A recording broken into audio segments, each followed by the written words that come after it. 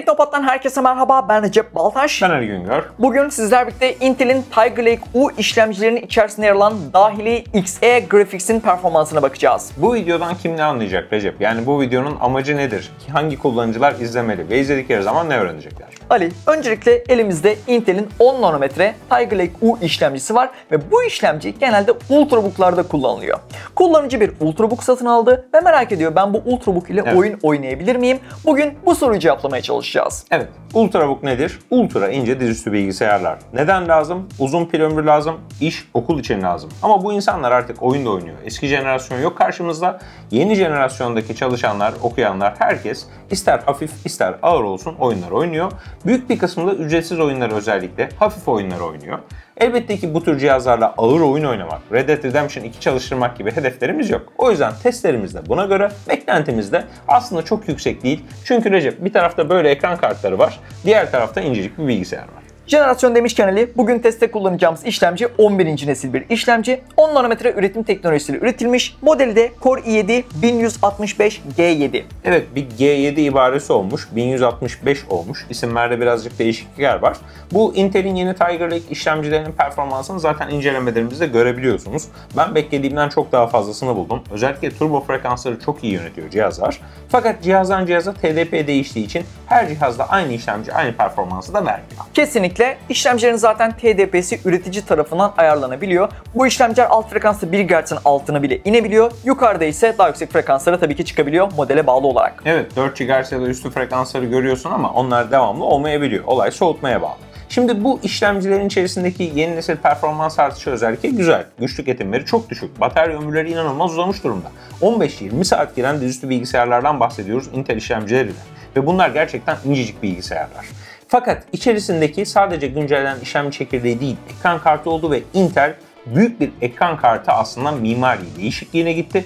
Raja Kodori'yi zaten transfer ettikten sonra AMD'nin Radeon grafik biriminde kıdemli olan o yönetici ve Intel'e yeni transfer edilen ekran kartı mühendisleri harıl çalışmaya başladılar. Evet, Intel bu mimariyle harici ekran kartlarını da piyasaya sürecek. Fakat biz bugün işlemcinin içerisindeki dahili GPU yani Integrated GPU dediğimiz iGPU'nun performansına bakacağız. Aslında en geniş kitleye hitap eden grafik kartı çünkü Steam'in survey'ine yani anketine baktığın zaman insanların Intel HD Graphics kullandığını görüyorsun. Şu an dünya üzerinde en çok kullanılan ekran kartı nedir dersen aslında cevabı Intel çıkıyor hocam. Evet, biz de bugün Intel Iris Xe iGPU'nun performansına bakacağız. CSGO ile testlerimize başlayalım istersen Ali. 1080p hadi yine Full HD çözünürlük 720p'ye düşmüyoruz ama düşük ayarlar hatta en düşük ayarlar açıyoruz. Evet, en düşük ayarlarda minimum 3 FPS, ortalama 123 FPS, maksimumda ise 378 FPS'ye ulaşıyoruz. Recep 30-60 filan diyeceksin diye bekliyorum.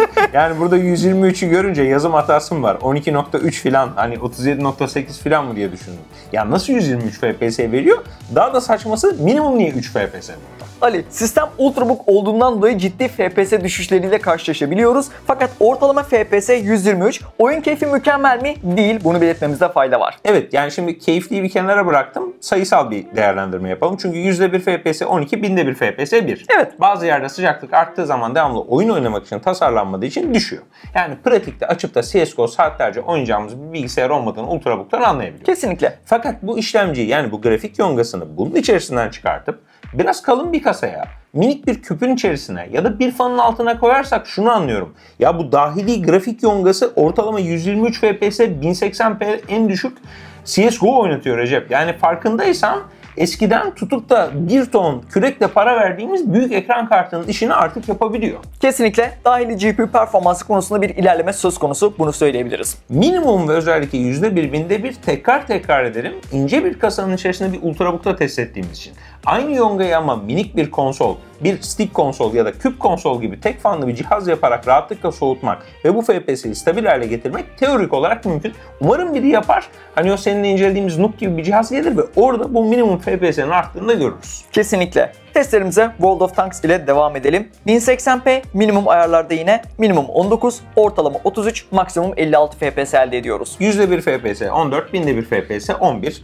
Oynanabilir bir değerlendirmesi var. Yani CSGO'dan daha oynanabilir World of Tanks. O kadar fazla düşme takılma olmuyor. Evet. Ama World of Tanks'ın bu Encore'un 1080p minimumuyla 1440p maksimumunu karşılaştırdığın zaman nasıl bir grafik farkı çıkıyor ortaya? Grafik farkı gerçekten devasa oyundaki düşük ayarla yüksek ayar arasında. Bir defa seninle sohbet ederken 10 yıl var arada demiştim. Abartıyor muyum diye bir an düşünmüştün ama sonrasında testle birlikte bakınca hiç abartmadım. Gerçekten minimum ile maksimum arasında bu oyunda 10 yıl grafik farkı olduğunu görebiliyoruz. PUBG ile devam ediyoruz Ali. 1080p very low yine en düşük ayarlarda. Minimum 8, ortalama 25, maksimum 37 FPS.